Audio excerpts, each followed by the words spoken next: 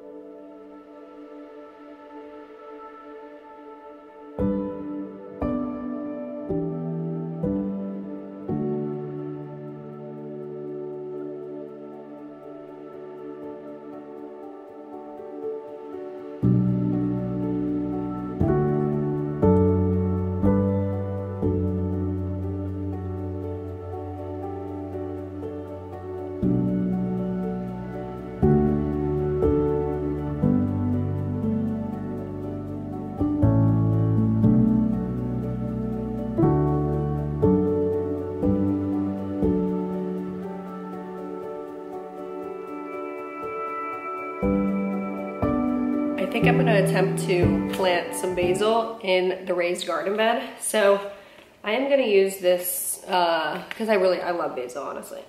This is Sweet Italian, which is my favorite. So let me see, five to 10 days to germinate, fourth of an inch to sow, speed spacing, and they're, they're good as like border. So I'm gonna do, I kind of was thinking about what I wanted to do yesterday, and I wanna do a lot of herbs and make this mostly like herbs and things, and kind of plant them along the border of here. So I think that's what I'll do right now, but I think I'm gonna water it first.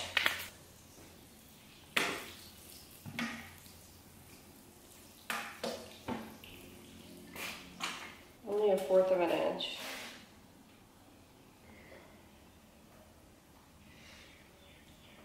All right, so I planted some new plants.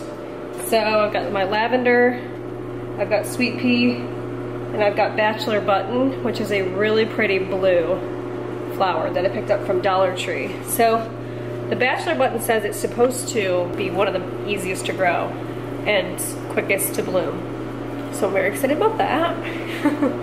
very exciting. And then in here, I planted some basil. So I planted the basil along here.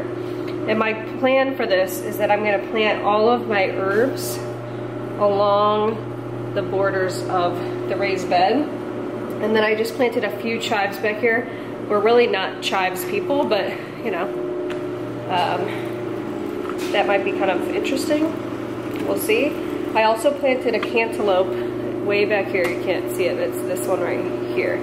So I planted that cantaloupe and I only planted two seeds. So this is what I would do. Honestly, if I could go back in time, I would with so many things because like I said, there's just so much information. So honestly, it's like you're just bound to make a mistake because there's just so many different options and things you can do and different mistakes you can make and it's just like it is what it is. So if I could go back in time, especially with like the size, like I wish I had just planted one or two seeds and that's it.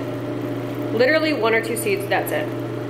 One or two cells, like I didn't need this full, you know, four trays full of seeds. Not really anyway. And I think that I wish I had done more research about, okay, like what do I really want? Like I wish I had thought about it more and things like that because it's like, well, where am I gonna plant this stuff once it's bloom? Like for example, these, I mean, these need to be, I need to plant these up probably, honestly, probably today. I probably should do that right now. Because um, these are obviously like competing with each other and blah, blah, blah. So probably should plant those up. They smell really good, the leaves. They're kind of like peppery and stuff like that. So anyway, I'm probably gonna plant these up. And this is actually, by the way, I just wanna say, this little snake plant is also growing. So I did manage to save it somehow. It is growing. I pulled it out a little bit and it's getting longer and it's like growing down. So guys, pick up your little pieces off the grocery store. I found that at Lowe's. I just found like a piece of snake plant. Brought it home, dried it out, and I put it in a plant pot and it's working out it's working out. So yeah, I just really need to maximize my space because honestly, I really want to keep a lot of this stuff inside in this room. And because I don't think like, you know, it says you're supposed to plant after dangers of frost have completely gone. Well, for us, you know, I thought that time was maybe even like a week ago, two weeks ago. Um, no, because it was 70 degrees. Well, no, we wake up today and there's still frost. So I think we're probably more so, and in like according to our, you know, zone, gardening zone, honestly, we're probably closer to April where you're planting things outside and gardening outside and transplanting things outside. So it's just kind of like, I don't know. I, I guess I just would rather start them all in here and have them all function in here. But yeah, I think I'm gonna work on these right now. I'm trying to, I'll have to kill some for sure because I don't need this many. don't need that many.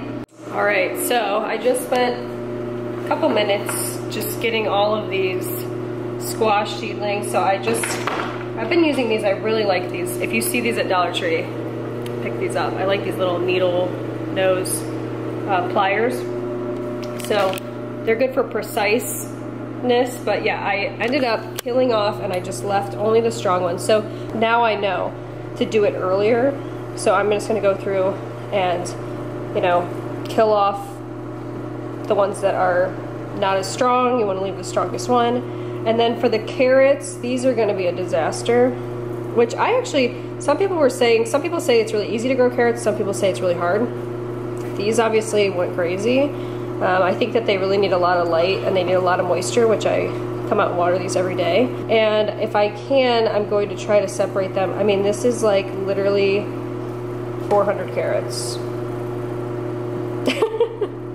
like this is a disaster. I think I'll probably just take try to take one cell and just try to separate them as best I can. I don't know what to do.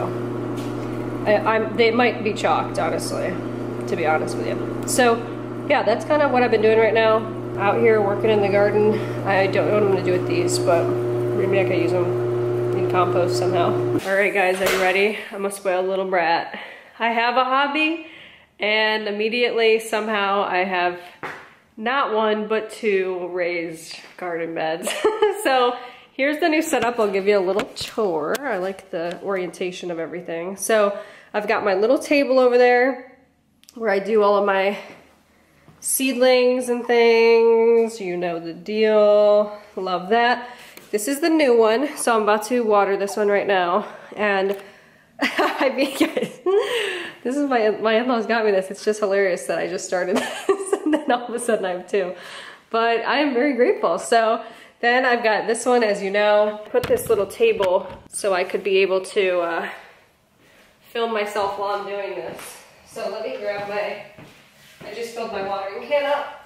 I just want to get the soil um, moist. And it's kind of, I filled it up kind of a lot.